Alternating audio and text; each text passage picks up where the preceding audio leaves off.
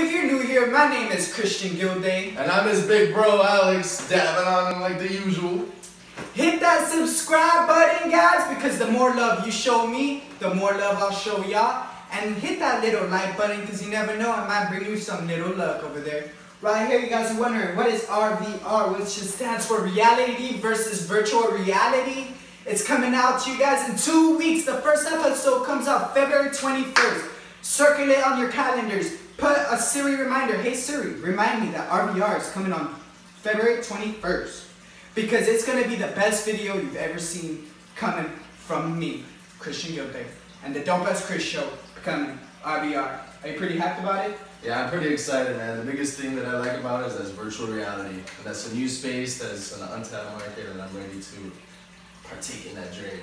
Exactly. It's a new journey that me and my brother are partaking in, and you guys are going to be in the journey with us. Now, today we're going to be talking about Valentine's Day. Valentine's Day could mean many things. Everyone has a different opinion on Valentine's Day. My some people have told me that they don't like Valentine's Day because they're very single, like me. I'm very single. And I'm not. Yeah.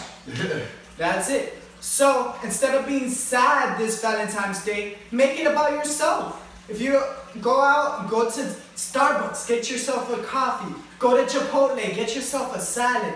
Treat yourself right because you're not. No one's gonna love you until you love yourself. And guess what? Just because you don't have that significant other, doesn't mean that you can make you can um, show love to your family. You can show love to your friends. I haven't been hanging out much with my friends lately, but for Valentine's Day, I'm gonna make it a mission that I hang out more with my friends and I hang out more with my family because that's what's important. Because love is what makes us human. If we didn't have love, we would be monkeys. We don't want to be monkeys now, right? Nah. So, I heard that you're not single. How's that going? It's going great, man. I'm actually going on my fourth year with the love of my life, and uh, this Valentine's Day is going to be very special for me.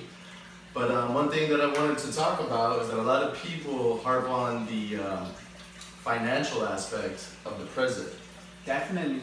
Because you never know, um, every day is different. One year you might be rich and balling and making that money rain, and the next year something happens and you have to spend some money and you don't have money and you don't have money to spend on a holiday. Which can definitely become a financial struggle. And when that happens, don't let that ruin your Valentine's Day. You know, there's other aspects that you can tackle in which you can make things romantic. And small gestures can go a long way when it comes straight from the heart. Um, one little tip that I'll throw out there right now that I might do is, you know, you can just get a, a dozen of flowers, right? And then what you do is before your girlfriend or your boyfriend come home, you can get all the petals off the roses and make a little trail from the door all the way to the bedroom and then have a small little present there waiting. I like it. Check this out. I like that idea, but what if what if you're asking, what if I can't afford 12 roses? Guess what? Just buy one rose, put it in your mouth, and do some salsa dancing. and give it to him in like a ceremonial way. Just because it's one rose, you could do 12 rows like his and go all out. Exactly. Or you could do one rose and just do salsa dancing and do something different. Spice up the relationship. Put Valentine's Day is to spice it up. Put your own little seasoning and make it beautiful. Make it tasty, guys. I'm gonna give you guys one more tip to being single during Valentine's Day. Dab on all them haters. And guess what, guys? all that money you would have spent on a girlfriend, I've heard people spending two, three hundred dollars on people, guys. That's okay. You're showing your love. So why not show your love to you? Buy yourself something that's two, three hundred dollars if you guys have the money.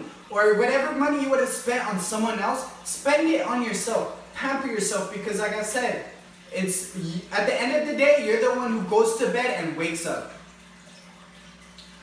And for me, you know, one other tip I'll, I'll, throw out there is that, you know, one thing that's very expensive nowadays, believe it or not, are Valentine's Day cards. You're spending around three to five dollars just for a piece of paper, you know? Oh, yeah. And one way that you can, if you know you have financial struggles, you can actually just get a piece of paper and jot down a nice little note that has a meaningful message, and that can go a long way. All right.